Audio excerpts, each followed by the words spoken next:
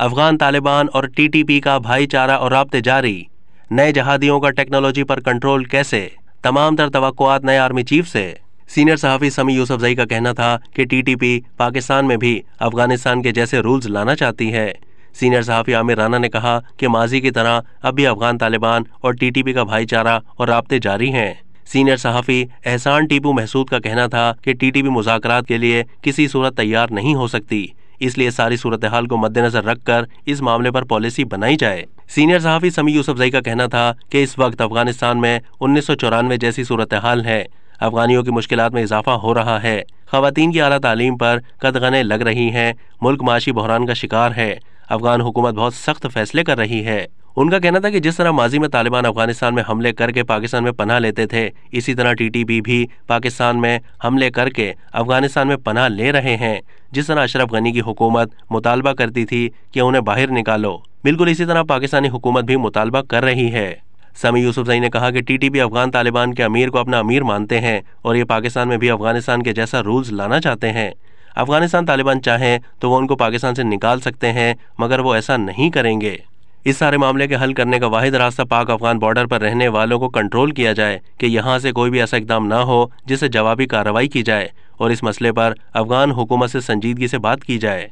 Senior साहब आमिर राना ने कहा कि पाकिस्तान में अमन बहाल हुआ था, ना ही अब है। इसी तसलसल के साथ हमले दोबारा शुरू हो गए हैं। माजी की तरफ़ भी अफगान तालिबान और टीटीपी का भाईचारा और रबते जारी हैं। ये पाकिस्तान की नाकिस अफगान पॉलिसी का मसला है कि जिस तरह इकदाम करने चाहिए थे, वो नहीं हुए। उन्होंने कहा कि टीटीपी के हमलों में अब शिद्दत आ रही है और वो बड़े शहरों की तरफ़ बढ़ने की हमत अमली अपना रहे हैं।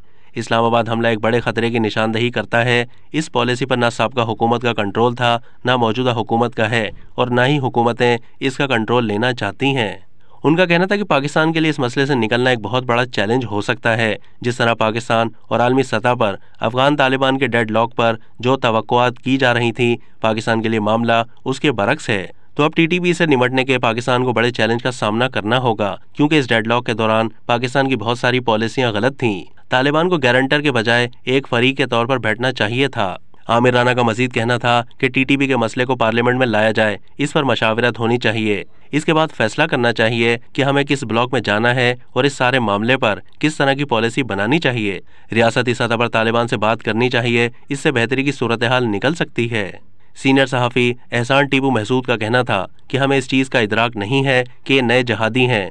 उनका टेक्नोलॉजी पर कंट्रोल है, ये रिवायती जहादी नहीं है।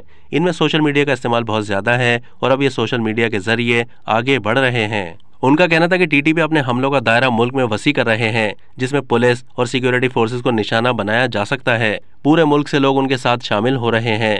तमाम दहशतगर्द ग्रुप्स उनके साथ मिल रहे हैं और मकसद पाकिस्तान की रियासत को कमज़ोर करना है।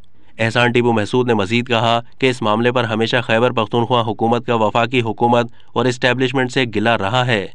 वो कहते हैं कि इस मामले ना वो डील करते हैं, ना ही ये उनकी और पुलिस की सलाहियत है। उनकी तो नए आर्मी चीफ से हैं। अब तक के लिए इतना ही। मजीद मालूम के लिए डेली जंग के यूट्यूब चैनल को सब्सक्राइब कीजिए।